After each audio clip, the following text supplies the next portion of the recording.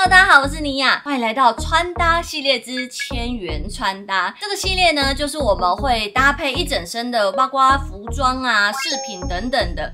然后希望我们可以把这个预算控制在一千元左右。如果你不想要花非常多钱在穿搭上面的话呢，这个主题系列就非常适合你哦。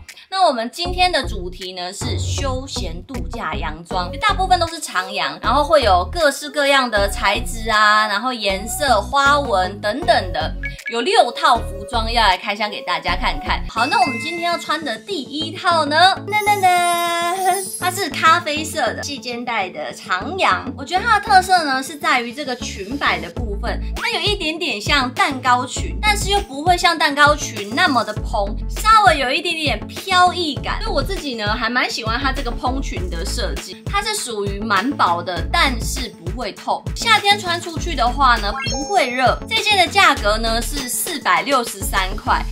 我觉得还蛮便宜的，因为长洋装通常都会稍微比一般的衣服再贵一点点，四百多块我觉得很 OK。再搭配了一个草帽，这个草帽呢已经是蛮久之前买的了，我印象中大概是三百块上下。然后你再搭上一个包包，这个包包呢是薰衣买的，一百五十四块。我觉得薰衣上的包包呢真的都超便宜的，可以多买几个。所以这样子总共加起来呢是九百一十七块。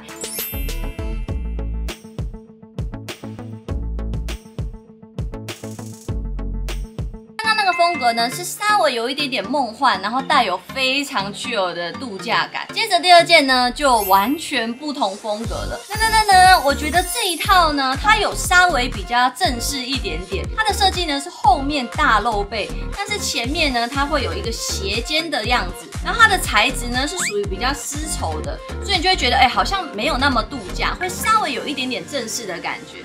穿到海边，我觉得还是非常 OK 的。然后它腰间的部分呢，不会很浪，因为它一旦松松的，你就可能会被看到内裤啊。主要是材质的关系啦。如果你要穿在户外的话呢，走久就会稍微比较热一点点。但是它花纹的部分，我非常非常的喜欢。我觉得它用这种黄色，然后跳有点蓝黑色的花纹，它会让整件呢看起来没有那么沉重，稍微有点正式，但是其实还是休闲风的样子。最后我觉得这件其实不太需要太多的饰品。去做装饰，因为它本身就已经非常的丰富了，所以我自己的部分呢，就只有再多加一个黑色的包包。那这件的价格呢，超便宜，只要两百四十九块。然后我的包包呢是一百七十七块，所以加上去呢，这整套总共也才四百二十六块。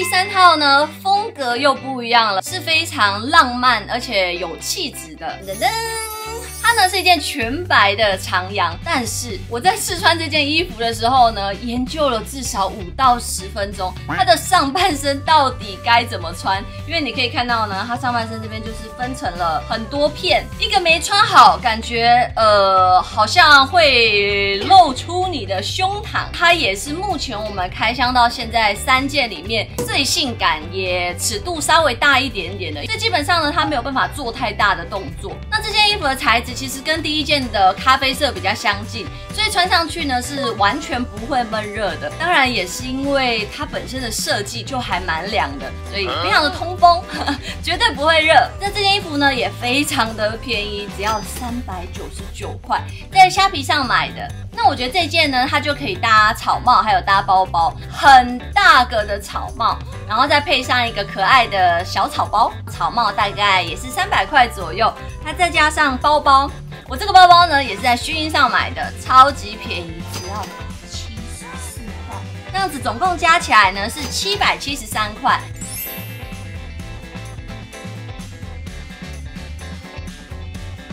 好，那第四套呢，又来一个完全不一样的风格了。这个风格呢，我觉得稍微比较可爱一点。噔噔噔噔，大家可以看到这个羽毛，它就是属于比较梦幻可爱的白长羊。它除了露背没有前几件那么夸张之外呢，它有个特色就是没有腰绳。穿上去就是一个嗯很可爱，然后会飘逸着羽毛的那种感觉。这件真的很可爱，我自己还蛮喜欢的。其实老实说，它的材质不是非常的好，它有点像是塑胶，可能是因为要粘这个毛的关系。但是呢，如果你只是要穿上来拍拍照啊，或者去海边走走的话呢，我觉得还是很够的。那这件的价格呢是五百零四，比刚刚那几件好像稍微都贵了一点点。可能是这个须须的关系吧，但是我觉得它这个须须好处就在于说，实际上来看的话呢，并不会觉得说一副就是便宜货的那种感觉，所以我觉得它这个须须的部分也是有下功夫的啦。五百零四呢，我自己觉得 CP 值 OK，因为它是全白的，所以我觉得也非常适合一个大大的草帽，然后再背上一个可爱的小草包。草帽大概三百块，再加上一个包包一百三十九，总共呢是九百四十三块。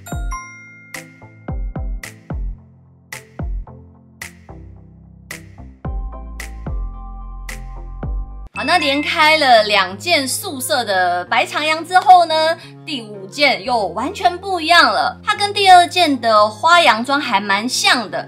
但是呢，它是深色的，它是一个深蓝色、宝蓝色的长洋装。我觉得材质呢，跟第二件的洋装比起来呢，这件穿起来会比较舒服一点。虽然它很薄，但是呢，它不会透。所以我觉得这件跟第二件呢，都是属于比较成熟一点的风格，有种性感轻熟女的感觉。如果你穿这个走在路上，就自带一股气气场。这件呢是四百二十三块，在我们今天开箱的洋装中，大概是属于。中上一点点，但是呢，这一件穿上去真的是太帅了。所以如果你是有个性的女孩，如果你想要耍点小性感的话呢，这件很 OK。其实因为它本身的花纹呢就已经非常的鲜艳了，有很多很多的颜色，所以不需要太多的东西拿来搭配。那我自己呢，一样就是简单搭配一个黑色的小包包，一百七十七块，然后加上这个洋装呢是四百二十三块，总共呢。刚好六百块，非常的帅，我觉得这件很棒。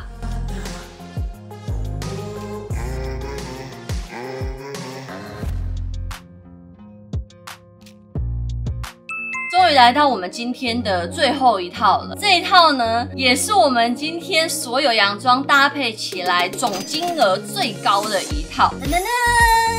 有在发了我 IG 的人呢，可能就会发现，其实这件洋装已经有出现过了。因为这件洋装呢，其实本来跟前面这个完全是没有相干的，只是我有天在逛虾皮的时候呢，哎，觉得这套洋装非常的好看，不得不买。然后买完之后发现，哎，其实它也蛮休闲的，所以我们就最后把它加进来。它的材质呢，也是属于这种比较亮面的丝绸，所以老实说，这件穿上去也是会比较热一点点。但是因为呢，它有超级大露背，所以上半身还是非常的透心凉啦。但是这一件的质感是真的非常好，穿上去也非常的舒服，你穿上去完全不会有一点点扎皮肤的感觉，完全没有。所以这件呢，贵也是有它的道理啦。那这个罩衫的部分呢？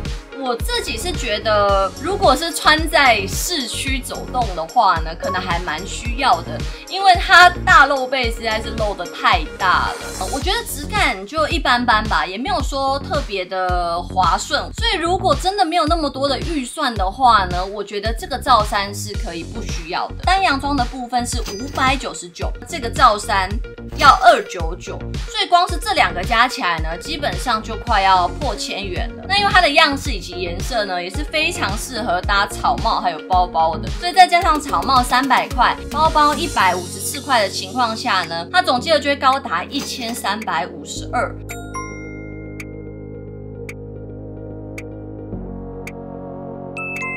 我们今天的千元穿搭系列呢，就差不多到这里告一段落了。老实说，我自己的对于每一件都还蛮喜欢的，一件大概都是三四百块，最多最多也就是五百多，接近六百。然后他们又各自都很有特色，有没有我觉得不值得呢？嗯，可能就只有这一件招衫吧。那这些洋装呢，我也会挑几件上架在虾皮，便宜卖给大家，因为毕竟我的衣橱真的是要爆炸了。所以大家如果对于今天的洋装有兴趣的话呢，也可以去追踪我的 IG。那到时候上架的时候呢，我也会在 IG 分享给大家。好了，那我们今天的开箱呢，就差不多到这里告一段落了。如果你还要想要看我开箱怎么样的穿搭，全部都可以在下面留言告诉我。如果喜欢我的影片的话呢，记得帮我按赞、订阅、分享、开启小铃铛。我们下期见吧，拜拜。